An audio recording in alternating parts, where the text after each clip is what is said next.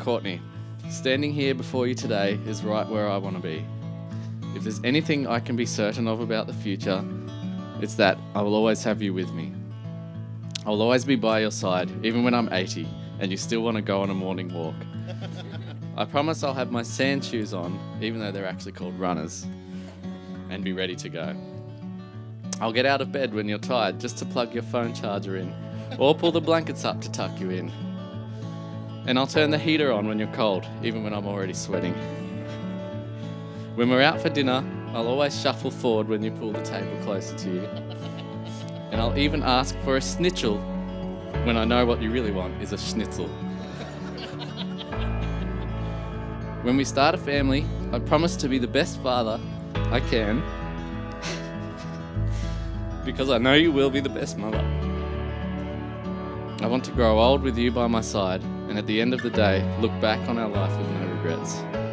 You've stolen my heart and it will always be yours. You're a one of a kind and I'll never let you go.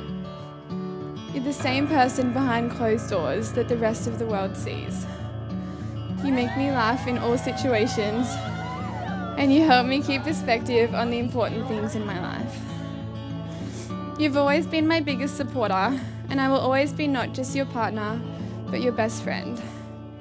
I promise to hold your hand whenever you want, even if you always squeeze too tight to try and find my veins like a weirdo doctor. Ever since I was little, my birthday wish was that I would find someone who made me as happy as my mum and dad make each other. And it's not bad luck that I tell you that wish because it already came true when I met you. You made me laugh harder than anyone else. You gave me butterflies that wouldn't go away and still haven't. And I trusted you as my best friend. I'm so excited that today I have the absolute honour of becoming your wife. Robert Sean Barbin, I give you my hand, my heart, and my love, always and forever. I can now pronounce you husband and wife. Congratulations.